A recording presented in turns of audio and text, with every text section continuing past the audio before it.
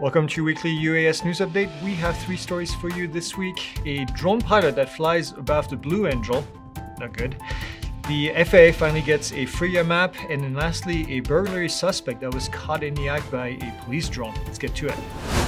And first up this week is your Don't Be That Guy segment. Unfortunately, again, a video was posted this week of a drone that was flying over the Blue Angel near Pensacola Beach in Florida.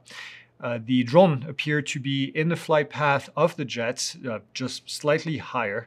Uh, the footage has since been deleted from social media, but please, please, please do not be that guy. Uh, do not interfere with other air traffic up there, especially during an air show like this. And uh, that could have been I can't even imagine. But we'll keep you updated as we see more on how this story progresses, but I'm sure there will be more. Next up this week, the FAA finally released a FRIA map. Uh, the new interactive map functions very similar to the UAS facility map, but instead just displays FRIAs uh, instead of airspace.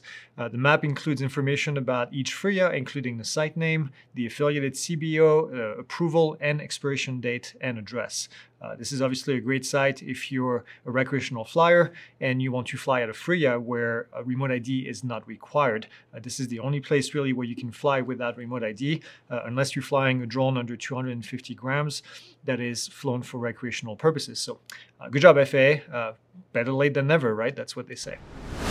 Last up, a burglary suspect was taken into custody after a drone observed them breaking into multiple vehicles. Now, this may sound like casual thing that happens. But in this case, this was really uh, interesting how they got there. Uh, a DFR drone, DFR drone as first responder, uh, was returning from a mission and uh, was used to survey a parking lot in a busy area where the operator noted that there was a man active, acting suspiciously. Uh, after watching the man for a short time, uh, the police operator observed him using a screwdriver to break into a vehicle where he sat for a while before breaking into another vehicle.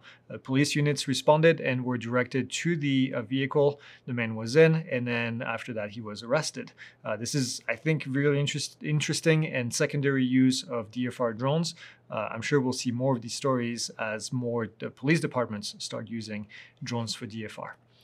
And there's going to be no live this week. Please note, uh, we're going to be at Oshkosh in Wisconsin at EAA AirVenture. Uh, come and see us at the booth. We actually have two booths, uh, booth 209 where the tent and the aircraft will be and most of the team, and then booth 2141, which is in Hangar B, where we'll have uh, a team de demonstrating the VR and the AR systems that we've developed uh, over the years. So uh, we've got a lot of swag, we've got uh, a lot of smiling faces, and uh, just uh, come and see us, and we'll uh, we'll we'll entertain you for a little bit. All right, that's it. That's all we have.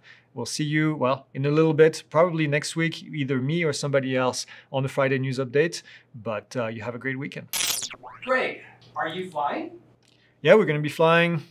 Saturday, possibly tomorrow, Friday, depending on the weather. We've been keeping an eye on the weather and it's not the greatest. So we'll see. What's the exciting part about landing at Oshkosh? You gotta hit the dot, right? You gotta hit the dot. So you gotta follow a hundred other people that are in the pattern at the same time, and then follow, and then they give you a dot assignment on the runway, and then land on the runway. Hopefully.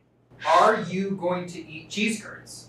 Well, yeah, for the whole team. For the whole, you're gonna eat enough for the whole team. Yeah, for those that can't go. We'll, we'll, we'll bring some cheese curds back.